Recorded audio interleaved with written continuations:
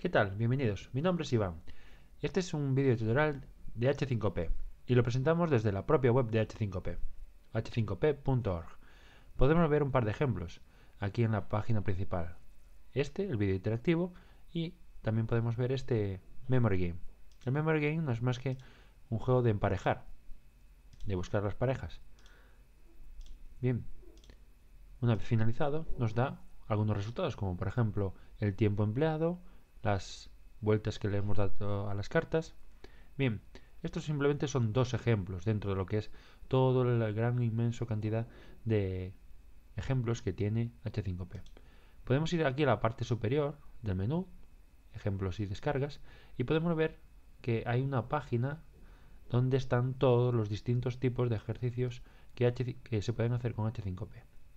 En esta parte superior están destacados los principales, que son las presentaciones, los vídeos interactivos y los juegos de memoria, como hemos visto anteriormente.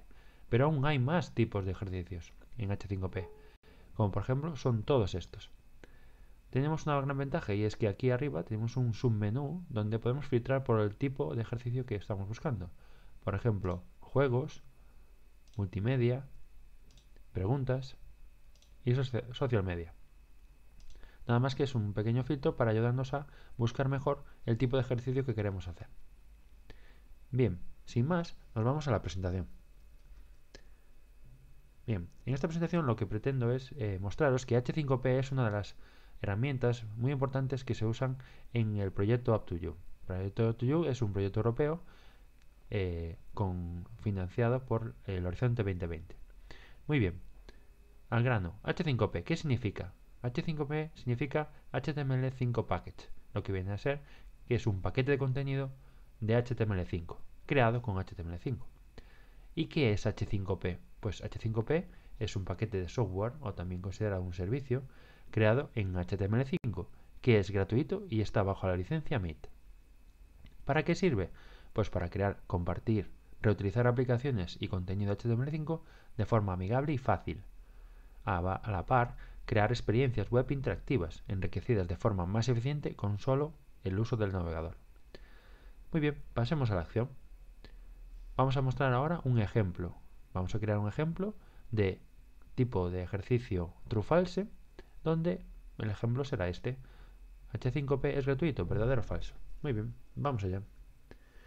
Bien, esta es la web y para hacer el siguiente paso lo que necesitamos es crear nuestra propia cuenta. Por lo tanto, podemos ir aquí al menú arriba, crear nuestra cuenta y veis que en pocos campos podréis obtener vuestra propia cuenta. En mi caso, yo ya tengo la cuenta hecha, entonces me voy a, login. Una vez que ya tenéis la cuenta creada, os logueáis y aquí tenéis vuestro espacio personal.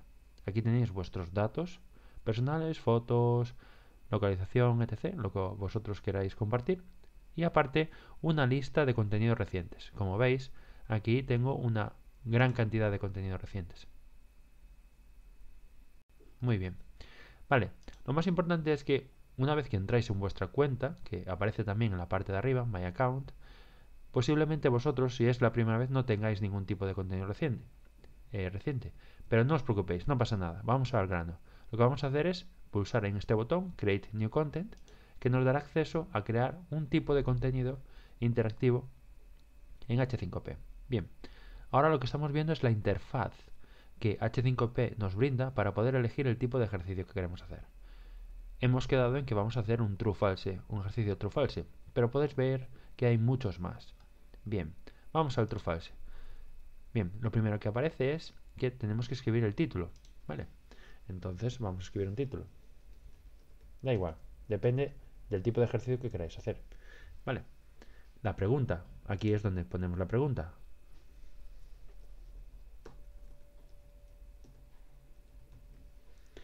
Bien, la respuesta correcta o falsa, en este caso es verdadera o no, y los distintos comportamientos que puede tener el ejercicio. Lo vamos a ver más en detalle en, futuros, en futuros eh, vídeos de H5P, pero alguna curiosidad son, por ejemplo, estos dos comportamientos. Es decir, la respuesta que nos va a dar cuando la eh, contestación sea correcta o cuando la contestación sea incorrecta. Esto podemos agregarlo nosotros a nuestro antojo.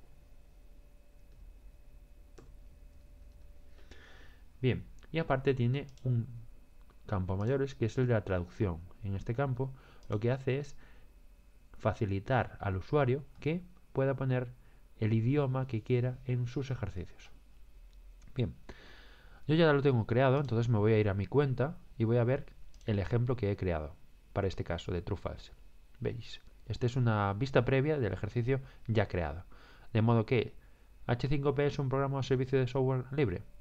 Vamos a decir falso. Vamos a contestar mal. Y vamos a comprobar. Muy bien, me ha, detectado que es falso, que es incorrecto, y me dice, lo siento, inténtalo de nuevo más tarde. Este es el feedback de lo que hemos hablado antes. Uno de los posibles comportamientos, en este caso, para cuando la respuesta sea incorrecta. Y aparte tiene los botones traducidos, como podéis ver. Mostrar solución, reintentar. Vamos a darle reintentar. Vamos a comprobar que la respuesta verdadero es la correcta. Comprobamos y aquí tenemos. Enhorabuena. Este es el feedback que obtenemos si la respuesta es correcta, que en este caso verdadero es la respuesta correcta. Vamos a editar este ejercicio. Bien. Aquí está el ejercicio completo de lo que habíamos hablado antes. El título, el título de ejemplo, la pregunta que habíamos planteado y en este caso vamos a decir que la respuesta correcta es la true, la verdadera. Bien, aparte tiene comportamientos, como habéis visto antes habíamos puesto correcto. Bueno, pues cuando la respuesta sea correcta vamos a decirle enhorabuena. Y cuando no sea correcta, pues le decimos lo sentimos, inténtalo de nuevo.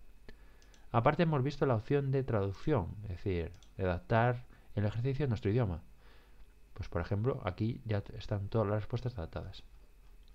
Bien, y esto es todo en cuanto a los ejemplos. Por supuesto, os invito a que visitéis la web, los distintos ejemplos, como hemos visto anteriormente, y que intentéis, una vez que habéis creado vuestra cuenta, crear vuestros propios ejercicios. Volvemos a la presentación.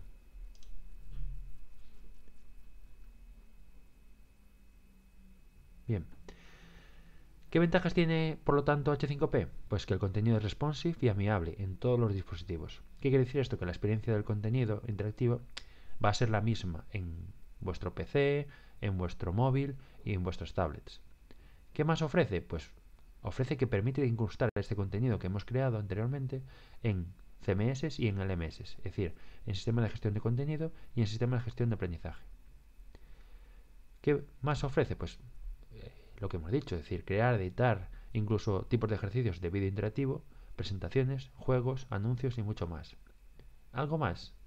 Pues sí, algo más. Nos da acceso a crear muchos tipos de ejercicios y actividades interactivas diferentes, como hemos visto.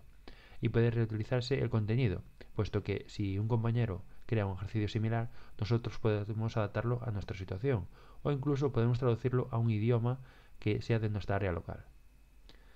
Por lo demás, eh, muchas gracias. Eh, espero que os sea provechoso este vídeo, que podáis utilizarlo para crear de manera más amena eh, vuestros nuevos contenidos y si os ha sido provechoso, por favor dadle al like, que esta es la manera en la que yo podré seguir eh, creando nuevos contenidos, tanto para vosotros como para el mundo educativo en general.